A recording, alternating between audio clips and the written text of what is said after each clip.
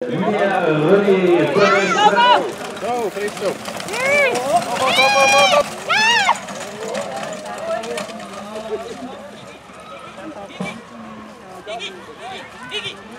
En tête du marathon après les dix premiers passages, toujours la France, Antoine Janson, still in the lead of the marathon after the first 10 drivers.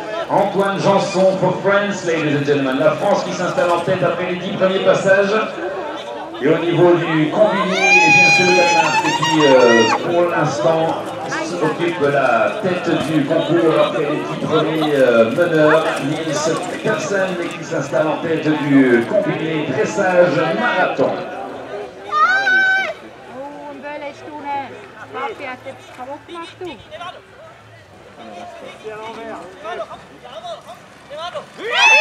Au niveau de chacun de. Le temps à battre, c'est celui de Antoine Jean-